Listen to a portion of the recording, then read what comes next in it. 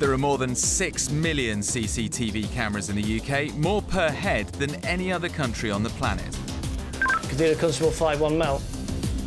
Operating 24 7, these cameras are increasingly important in catching criminals in the act. Theft, violent assaults, and drunken brawls. Antisocial behaviour to really dangerous behaviour. All of it caught on camera. I'm Nick Wallace. I've been reporting on crime for more than a decade. I'm going onto the front line to see how CCTV is helping police put criminals behind bars. Tonight, we reveal the high street bandits who'll stop at nothing to get what they want. The opportunists who'll lift anything they can lay their hands on. The gangs who'll clear shelves in broad daylight. We'll see how police are using CCTV to round up the worst of the rioters and snare persistent shoplifters. All of it caught on camera.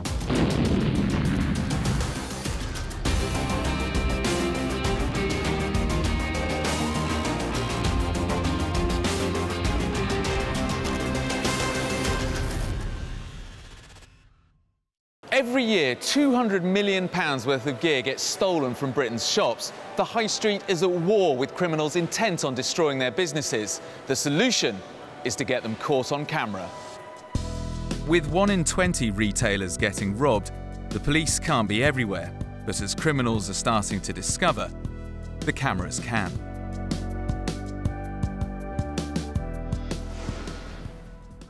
Camera control receiving.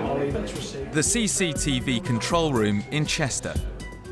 182 cameras are sending images to this centre 24 hours a day. Camera control 5-1. Watching out for trouble is controller Paul Hunt.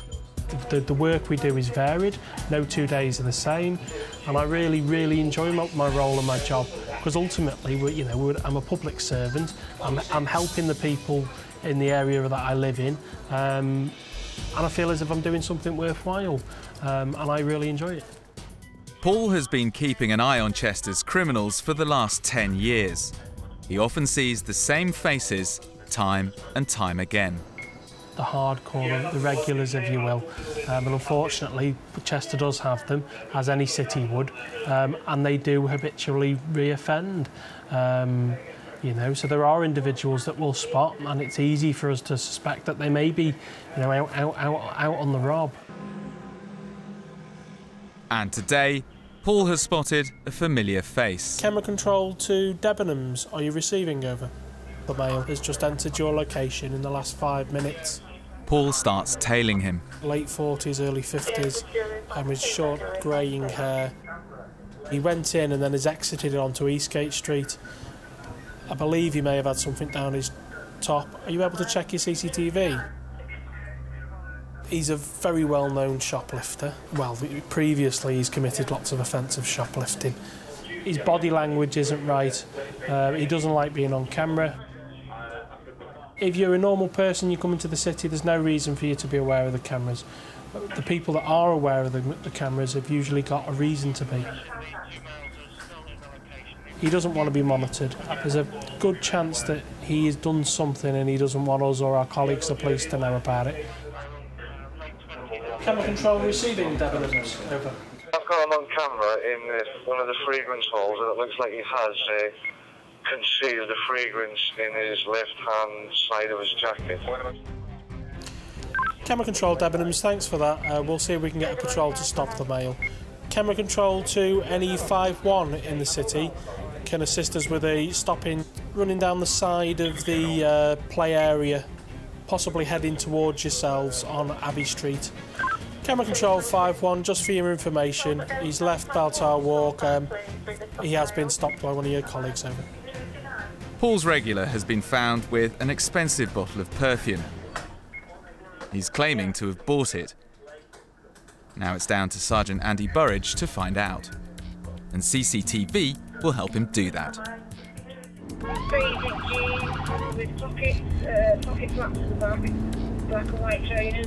Basically, now that the file will have to be built, a file of evidence to put to this male on interview, and uh, he's interviewed later on today. So we're going to head to Debenhams now, pick up the uh, the CCTV, which will form part of that case. The store guard here's got this chap coming into the store on his camera. We've just seen him approach um, a stand with fragrances and perfumes on it. Some that fixture with a Armani is. He's he's selected some of those, put them under his jacket, and now uh, we're looking at him leaving the store without making any attempt to pay for what he's taken. Being able to identify the usual suspects is helping to stop the tide of shoplifting in Chester.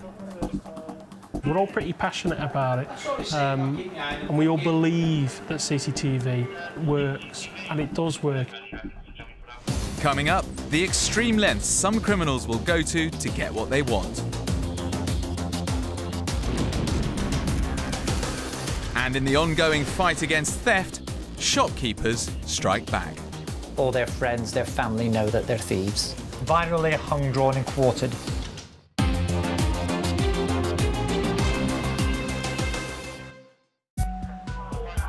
Chester's CCTV control room. Paul Hunt is on the day shift. That's a negative, Andy. He's tracking some suspected fraudsters. The description that was passed does match them. Yeah, camera control. They're just about to go up Frontier Street away from the city.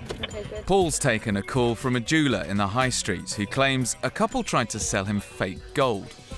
Uh, pocket flaps at the back. So we've, we've picked up on the male and female, and we're just monitoring them, and there's a police patrol en route um, who are going to try and stop them. Sergeant Andy Burridge and PC Jen Gort are on their way to intercept. Okay. The female has got sandals on, black handbag, and a short sleeve cardigan on, which is grey and dark hair. Yeah, that's received. We're just coming along Frodsham Street now. High street crime used to cost Chester retailers a staggering £20 million a year. Yeah, that's received. Keep your eye on them. Um, To help them crack down, the organisation Chester Against Business Crime has set up a joint initiative which links CCTV operators, the police, and the shops. They're just going past the 80s, coming up to Foxford. yeah, they are. Everyone signed up to the scheme is linked together.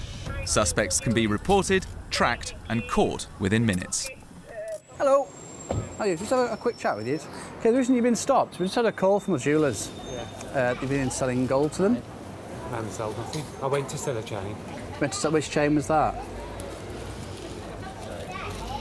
Right. And what have they said in there? Just said, well, they said it was no good. Right, so what brings you to Chester? Well, it's the same as what brings me to any other. I'll go Worcester, I'll go Stourbridge, Coventry, I'll go everywhere to play on the fruit Thank machine. you, sir. On different places. you're a fruit machine machine tourist. Yes, I did. Lima Alpha, November Oscar. Okay. It turns out this isn't the first time he's been busted for the same offence. 5743 Dig. Can you just confirm what he's on bail for, please? In fact, far from it. You've got eight cases pending at the moment. For what? But I've told you, we brought gold and none of it was gold. Well, that's, that doesn't make you the offender, does it? So what if you tried to do then? Sell it. Yeah, Well, obviously, yeah. So what offence are you currently on bail for? Well, they tried to say fraud. Sergeant Burridge has heard enough. Just go and take a seat in the car for me, Tim. There's nothing to implicate the woman, so she's free to go. Camera control. Yeah, she said she's returning to the train station to get the train back to Wolverhampton. You just keep your eye on her en route to City Road, please. PC Gort wants to make sure she really leaves. Cameras will be on. Thank you, received. She'll make her way now.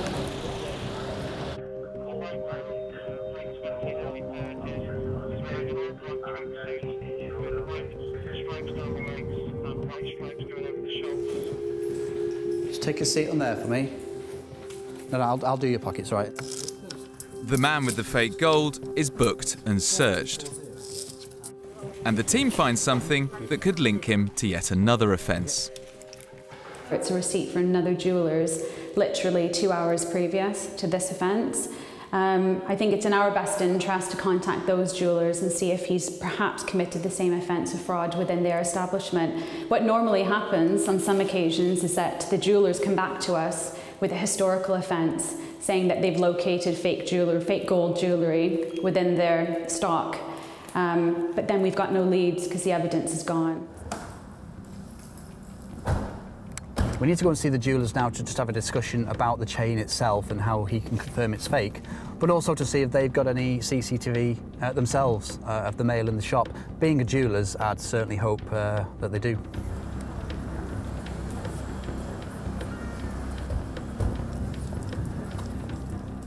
It turns out the jeweller's been doing his own detective work. He's already watched his CCTV and found he's caught this couple on camera before. Couples come in to sell the chain, and because it was a hallmarked tag on the chain, they believed it to be gold. Now, the member of staff that's in that day is actually an apprentice, so she's not quite as experienced as ourselves. This is the same gentleman that's come in today to sell the chain. So we've kind of put two and two together with it looking like a you know a counterfeit chain with a hallmark tag. It looked very similar to the one that came in on Monday. It seems the woman might be involved after all. She needs to be tracked down. If you see the, uh, the female that was with the male that was arrested on Frodsham Street, she will need arresting for fraud also. Yes, yes. The female that was in company with him is now wanted uh, because other information has come to light. Uh, so we're just having a look around, although we believe she's left the city, uh, to see if we can locate her. And if we do, we'll let police know uh, and we'll be able to direct them to her whereabouts. Unfortunately, the female suspect had already left town, but the man will be charged with fraud. Thieves can be a devious lot.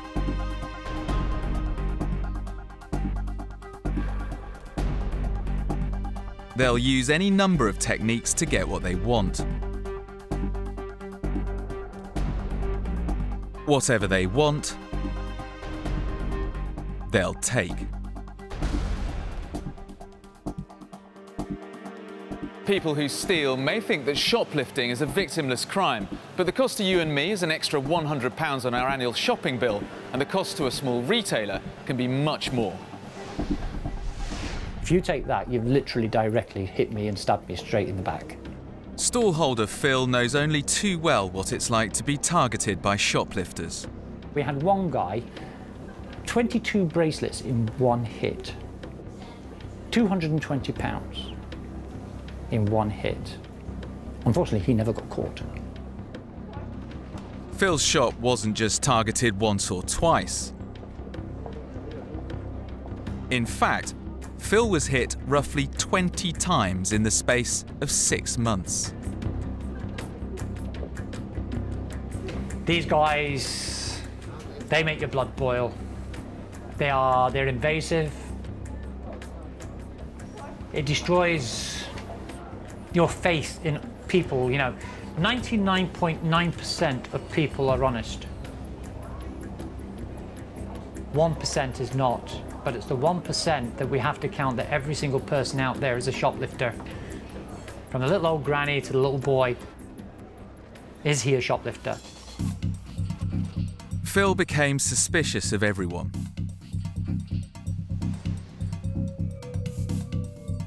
To deter the thieves, he spent £800 on installing his own CCTV. It didn't stop them, but it did catch them on camera.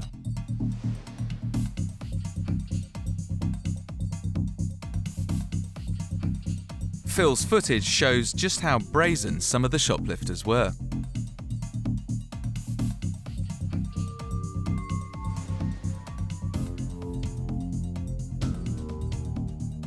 That little kid who steals from you doesn't realise the implications of what he's doing. All he sees is a bracelet. And that's what he's going to take. But the knock-on effect of that is tremendous. Feeling he was being robbed blind in Bristol, he shut up shop and relocated to the seafront in Weston-super-Mare,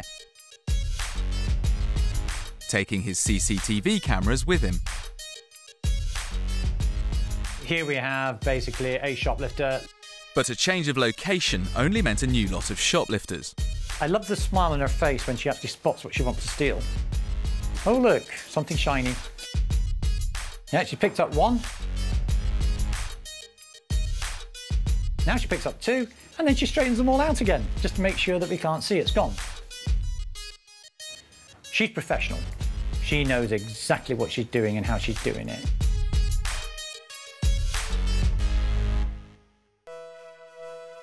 Phil decided it was payback time.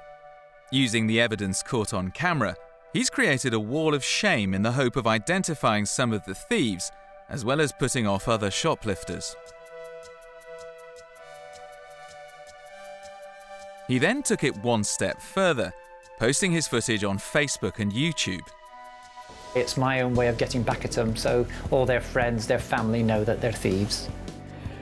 Okay, now this one. Within 24 hours, we'd had 2,500 hits on it. Virally hung, drawn, and quartered. Phil's cameras haven't stopped the most determined criminals.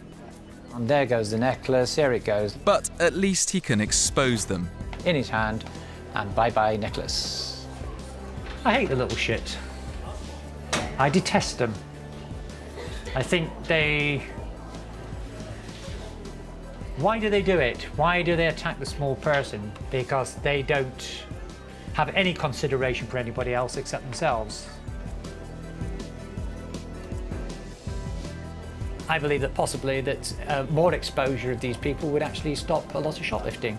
If you could actually have a big, big thing in the middle of the high street with the latest pictures of the latest shoplifters, the shoplifters aren't going to go into town. And if they don't go to town, they're not going to shoplift. Tempting products on display are easy pickings for thieves, especially when some criminals go for the gung-ho method. Grab what you can and run like hell. One gang took that idea to a whole new level, steaming in en masse and grabbing as much as they could.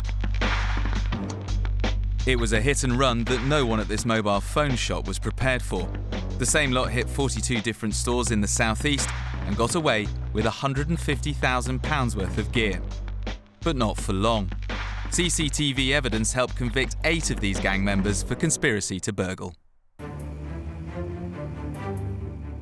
High street criminals can't always be caught in the act, but more and more of them are being caught on camera. Like this brazen gang, which took robbery on the high street to a whole new level. This lot used a bulldozer and they got away with £34,000, as well as the cash machine. Another gang caught on camera in Hampshire used even more extreme tactics.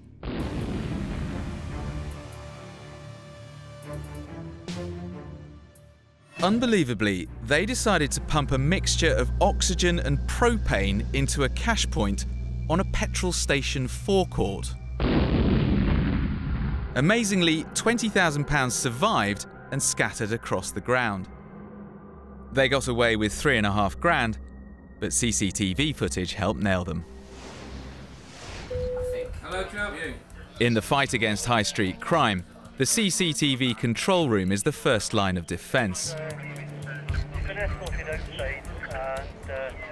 At West Orchards in Coventry, CCTV controller Andy Gould has 85 cameras to help him watch over three floors of busy shops and cafes. With thousands of people coming into the centre every day, tracking the shoplifters is a game of cat and mouse. Often, it's the same characters again and again. We, we get to know people now that are coming in that, uh, that have committed crimes in here. So if we see them coming in the doors, we'll go down and direct them straight out again because they're not welcome in here. And today is no exception. Controlled to all Zulus and an IC1 male blue top, large bill, going body care, known shoplifter. Can we attend? Excuse me, guys. Can you make your way to body care? Excuse me. Yeah, we've got a guard on his way in now. Security guards are called and get to the shop as quickly as they can. Trousers, uh, blue jacket, large build. Andy is guiding them in. Excuse me. Yeah, he's been deterred in the co-op from attempting uh, to steal, so if he's a bit suspicious, we'll direct him straight out. Within minutes of being spotted, this regular is ejected from the shopping centre. They, they recognise him, they've uh, spotted him um, trying to steal something and he was deterred by staff. Left, escorted out and he came straight over here, so what the PCSOs will probably do now take his details and tell him to make his way out of town. all okay in there? Already banned for shoplifting, today it seems he was trying his luck. Jamie, what's the deal here? They're just doing an ID check on him. He's going to be followed from this point in the town centre all the way until he gets out to a certain point, and then hopefully we won't see him again in the city centre today. So he's a known convicted shoplifter? Yes. I'm going to see if I can have a quick chat with him. Hang on a sec. Excuse me, mate. Do you want to have a quick chat on the camera? No, I thought I thought that camera was recording me for because of these and We're filming what these guys do for a living. Yeah. And I saw that you came into the, the place and you were just kicked out straight yeah, away. They stopped me. Yeah, they stopped So, me. but you haven't nicked anything. No. That's You've been you've been robbing at other places. Well, sort of, yeah. They- but were you going in there to, to try and rob something? No, I was going there just to look around, wasn't I? But you can see if you're wearing a coat like that, they're immediately going to assume that you're on the rob again because Yeah. it's a lovely warm day. I know. When I first come out, it was a bit. You know what I mean? It wasn't this hot. That's something. Yeah. Yeah. Be honest with us. Were you going to try and lift something? Might have, yeah, might have. So you can see why they're doing their job. Yeah. All right, mate. The guys at Control have made exactly the right call. Coming up, criminals roaming the streets and wholesale looting. It doesn't get bigger than the London riots. And catching the guilty would be down to what was caught on camera. It was just carnage. You, you, know, you feel numb.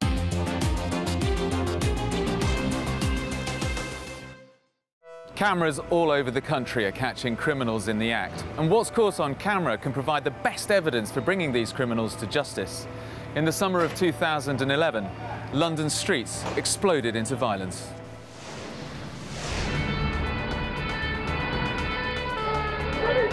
Large numbers of people took to the streets across the UK, robbing, looting, and battling with police. Arresting them at the height of the riots was virtually impossible, but being able to mount a case against them afterwards was down to CCTV.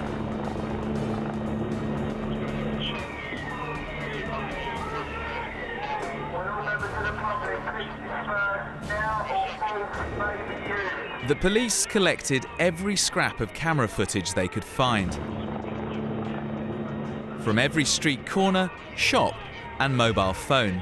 We had an, over 200,000 hours of CCTV recovered. It's been described as the biggest single investigation ever set up. There's a total of 4,170 offences committed linked to the disorder. In London, the Met started Operation Withern, a dedicated team of officers determined to use evidence caught on camera to bring the worst of the offenders to book. One of the most dramatic images of the riots was the fire at the House of Reeves furniture shop, which spread to the whole block. Firefighters were powerless. House of Reeves had stood on this site for 145 years. On a single night, five generations of a family business was destroyed. And this is it. This is the House of Reeves. This is the old store, what's left of it, where it all burnt down. Brothers Graham and Trevor were left with no business and no hope of finding the people who did it. It was just carnage. You, you, you know, you feel numbed. You're just numb. The whole place is gone. It was just finished. I thought there was no chance of them getting a conviction or getting evidence or getting anything. The Operation Withern team faced a monumental task. They started with the CCTV on the street. Immediately, they hit a problem. The hard drive linked to a camera directly opposite the shop was water damaged. They were told the images couldn't be recovered. But there was a surviving camera. On the footage, they spotted a man in a red hoodie walking away from Reeves around the time the fire broke out. He was also seen by eyewitnesses who said he was the arsonist. The hard job would be proving it. He was picked out by other CCTV cameras with a petrol can. Officers needed to find out what he'd been doing in the hours leading up to the fire. He was also caught on camera directing other looters to a department store, as well as going in himself.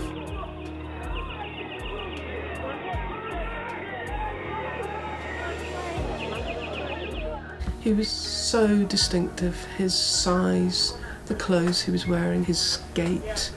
having watched hundreds of hours of footage of this suspect, you, you, you begin to get a real feel for them and you can pick them out even from a grainy or fuzzy image. But CCTV still couldn't give the police a clear image of his face. Then came a breakthrough. An undercover reporter was filming a few streets away from Reeves and caught looting a supermarket the man with the red hoodie, looking directly at the camera. The police thought they had their man, but they still needed to put a name to the face. An appeal in the local paper named the man in the red hoodie as Gordon Thompson. The evidence caught on camera was enough to charge him, but they still needed to prove he was the person who torched Reeves. Then the officers got some vital news about the water damaged camera drive, and everything changed. We took a phone call from a technician who said there was pictures coming up on the screen of people outside a furniture store. At that point, we knew that this may have potential evidence for us, and it did indeed contain the critical piece of evidence of Gordon Thompson leaning in to the furniture store and setting a light. This was the icing on the cake for us. Gordon Thompson changed his plea to guilty. He's now serving 11 and a half years.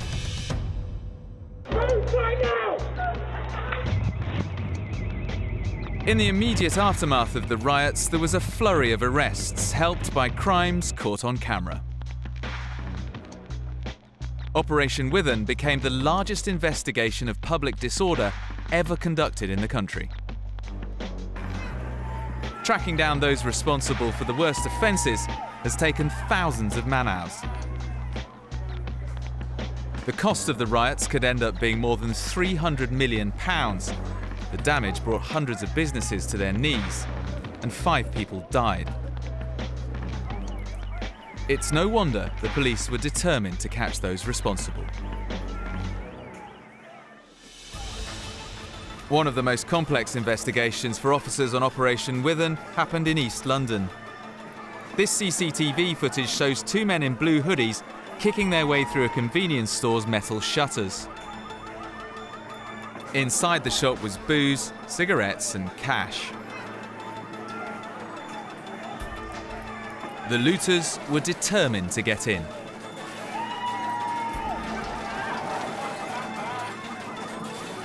When they finally got in, others streamed in behind them, causing £80,000 worth of theft and damage.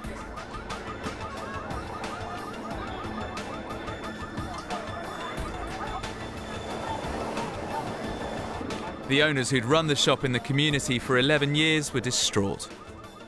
Everywhere complete mess up there. I didn't even step in. I didn't even go in. I just went to this next to shutter and just looked and come back to the van and start to cry. The first job for Operation Withern was to gather the CCTV evidence. Officers watched hours of footage, trying to trace the men responsible. Finally, they had a breakthrough. Among the many images taken by press photographers, officers spotted this a man with blood running down his leg. The cops soon realised this was their suspect. But finding out his name was another problem altogether. They trawled through footage in the area, and finally, the last piece of the puzzle fell into place a picture of the same man being helped into an ambulance. Officers chased up the paramedics and were given his name and number. With the weight of evidence so strong, he pleaded guilty and was sent to prison for 18 months. The second suspect hasn't been caught, but officers are still sifting through footage, determined to track him and the other rioters down. Footage caught on camera remains crucial in helping the police catch up with criminals, but picture quality remains a problem. Grainy images made it tougher for officers piecing together footage after the riots. But CCTV technology is developing fast, and retailers are leading the way. Like the control room in West Orchard's shopping centre. It houses the very latest in CCTV technology. They've spent £50,000 on high-definition equipment, including new Avigilon cameras. Whiskey Oscar, Charlie Charlie. Every inch of the shopping centre is now covered and monitored. Security officer Andy Gould has 86 cameras feeding 70 screens. So how useful is this CCTV system? It's brilliant. It, since we've been updated to the, the um, HD and the digital stuff, it's fantastic. Caught you walking around earlier on. I'll play it for you. Are those my shoes? That's you just coming in shot now. So if I zoom in on that now, so we've there. That's got, an amazing shot. From such a wide shot that you start with, you can go in so close and not lose too much of the Yeah. quality. And if you've got a grainy picture of someone leaving a property, you might as well just draw a stick stick person. Yeah. But with the HD, we've got good visuals. We can see them 100% and identify them. For Andy, this technology isn't just helping him catch people in the act, it's proving invaluable when it comes to spotting the usual suspects. Control to all Zulus. Yeah, I've got them on now. Now, known offenders can be intercepted quicker than ever, hopefully before they've nicked anything. What's your policy when it comes to dealing with criminals? It's about pushing the crime away from the West Orchard Shopping Centre. And your goal here isn't necessarily to catch a crime being committed, it's to identify a troublemaker and exclude them from the shopping centre. Absolutely. We want to ensure that people feel that this shopping centre is a hard place to steal from. And hopefully then people will go elsewhere. Yeah, you don't want them in the building because if they're not in the building, they can't commit a crime. Absolutely. This technology is helping reduce crime, but I want to find out how quickly it can help the West Orchards team find a potential shoplifter. What have you got down in here? Phone. I know you've got something in your back pocket. I This is James Brown, a sleight of hand expert, and my partner in crime for this op. He's playing the shoplifter and hoping to go unnoticed. I'm in the control room with security officer Hugh Ovens. He's got a brief description of James and thinks he's going in solo. But James has brought his friend Ravi along to throw everyone off the scent. There are hundreds of shoppers in the centre, but the team still reckon they can find James in less than 10 minutes.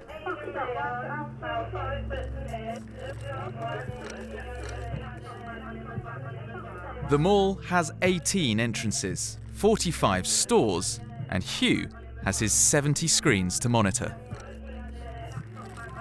Putting in certain locations um, where there's groups of people. You know what? I know exactly what James Brown looks like, and I'd have trouble picking him out the, the amount of cameras you've got to choose from. Zulu one to control over. Yeah, are all the units on their uh, on their positions over? Yes, sir. Thank you. The key person there is the controller. So obviously a number of eyes on the floor, but essentially there's there's over 70 eyes, cameras, which are going to do a lot more work than we can physically.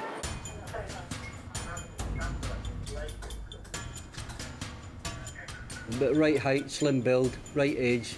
Uh, the two of them been walking around uh, the centre. We just want to see what they're doing. They've spotted him. They've, they've been walking around, they've been on all levels of the car park. They don't seem to be doing much. They're not shopping, but they're looking at what's going on. All right, guys, well, I think I better tell you that is James Brown who's walking around with his uh, jacket over his shoulder. So if you want to tell Steve that was a great spot, that was eight minutes before he picked him up from the floor.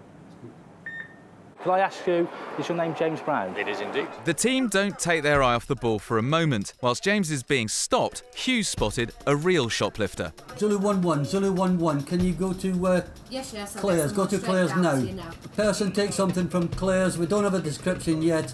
He's out the shop, gone uh, towards Smithford Way, and uh, turned left, left, left. The man is quickly caught and taken to the shopping centre's holding cell. Once I've searched them, they'll then identify the property that belongs to the shop, and uh, he'll be spoken to, his details obtained, and the PCSOs will check him out.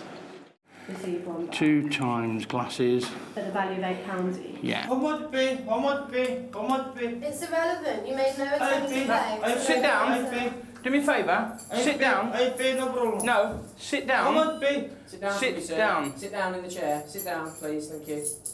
Are you, uh, I'm about the money now. Sit down. Right, Right, you'll need to pay attention to what this so- man's going to tell you now, because it means you won't be able to shop within the West Orchard shopping centre. I have no money, boss. I know you have Right. money, but you should have thought about paying before you exit the store. Okay, okay, okay. All right. You have now received a 12 month ban. Okay. All right, we've got your picture. So as soon as you come in the centre, we'll have you. We'll have you recognised and we'll come and get you. Okay. So you don't come back. You've been drinking, Balka? Yeah, can. Right. Morning. Well, vod- vodka's not a good breakfast, is it? Hey? Vodka's not a good breakfast, mate. I don't have to shake your hand, mate. Make your way out. Don't want to see you for 12 months. Okay, where you go. Zulu 2 to control, just leaving stair one. That way. Make your way out of town. Just away from West Orchards. That way. Balka. That way. Yeah.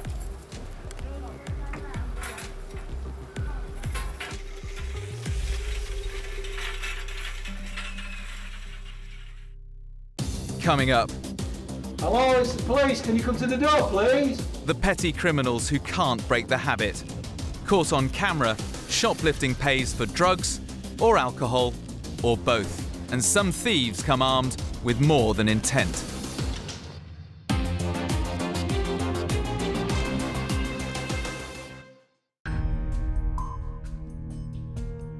Across Britain, if you've got your own shop, you've most likely got your own CCTV cameras. Corner shops stocking booze, cigarettes, and a till full of cash are all too often targets. Owners never know who's going to come in next. One shopkeeper on Merseyside was put through a horrifying experience. At 10 o'clock at night, three masked men burst into his shop, wielding steel chains and a meat cleaver.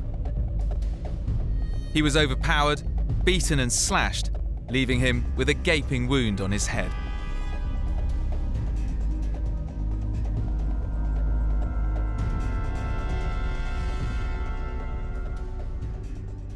It was a terrible experience, nightmare. Yeah, lot of blood, more than half liter. More than half liter, very high. Milton needed 10 stitches in his head.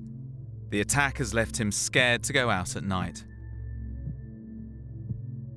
After 9 o'clock, I, I feel unsafe, I worry about any, if anything will happen. I pray the court will not happen again. The police are still trying to identify and catch the armed robbers caught on Milton's CCTV. High street crime isn't always reported to the police, but when it is and criminals are caught on camera, the same old faces keep turning up. Thank you for, uh, for coming today. In Rotherham, officers are getting ready for an operation to swoop on some of the usual suspects. So today we're going to utilise four teams, two Oscar Yankee teams and the town team to get a number of suspects in. So we're doing everything we can to get people uh, behind bars where they need to be, where they can't commit crime.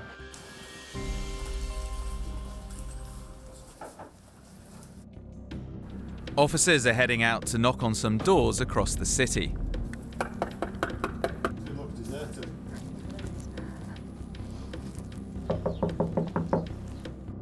This is the CCTV of just one of the suspects they're looking for.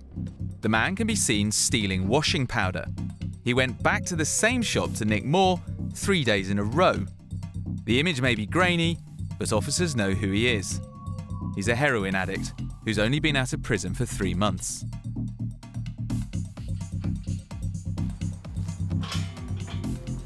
PC Dave Law hopes to find the suspect at his dad's house.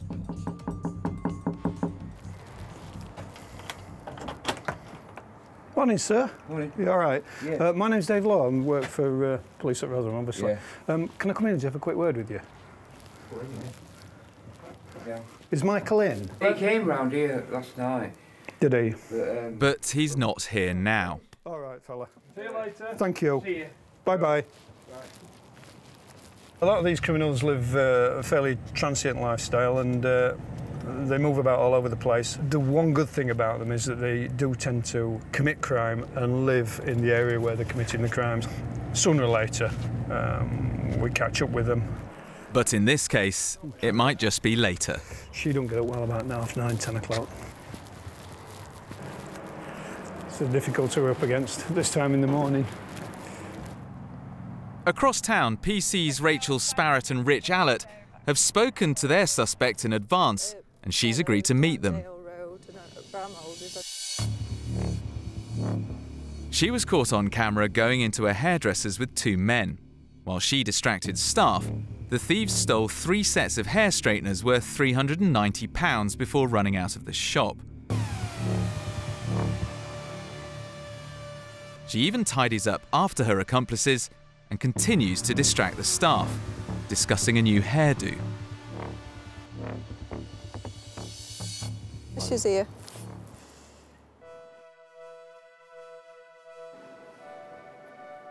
The officers believe she's a drug addict. And it seems to come as a bit of a shock to her when they tell her she's going to be strip searched. It will be as quick as possible, give you as much dignity, and that's that. Take your um, bracelet off and your hair out. I'm not Is it wrapped to in? meet you no more. Is it wrapped in? And your phone. Come and find me next time because this is ridiculous. Listen, it's nothing personal, right? But we have a duty to look after you and the staff, right? Nobody's saying that you would bring anything in, but unfortunately people do. Okay, number five, thank you. Wrapped in. She's got sharps on her. Just let me get the sharps big. PC Rachel Sparrett found a needle on the suspect. She admitted being an accomplice to the shoplifting because she was caught on camera. Officers have now spent hours searching for the washing powder shoplifter. Hello, it's the police. Can you come to the door, please? They've spoken to his family. It seems his drug addiction and criminal record are taking their toll. He's uh, really at a very low ebb at the moment through uh, drugs. Um, I've just spoken to uh, his auntie, who was very concerned about him. Uh, she said that uh, he's becoming a bit of a victim. People are following him around, and uh, some of those people have assaulted him in the past and uh, taken his money from him. And she said that somebody even took his trainers off him the other day. So he's quite vulnerable, and obviously we'll bear that in mind uh, when we come to arrest him and give him uh, all the uh, help and support necessary. Finally, officers track him down at a local soup kitchen.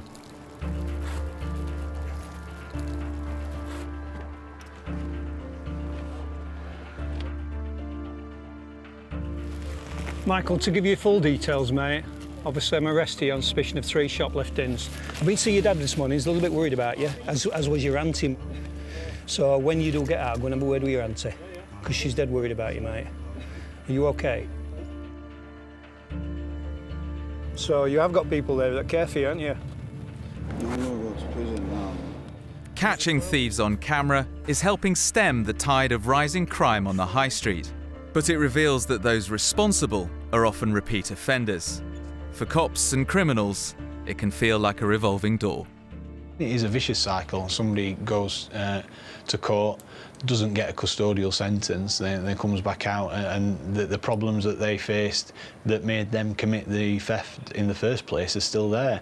They still have that addiction to something, or they still have the uh, low income, or they still have uh, a number of mouths to feed, so have to go out and, and commit further offences. He was a little bit tearful and a bit, uh, a bit upset, and I, I think he's. Um, it's mainly because of his dependency on, on drugs and uh, how he's feeling about that. Just sad, but if he's going to change, it's uh, it's up to him. He'll get all the support and help necessary to do that. And uh, I think he's resigned himself to the fact that he'll be going back to prison. He's uh, telling me he's come out of prison in June.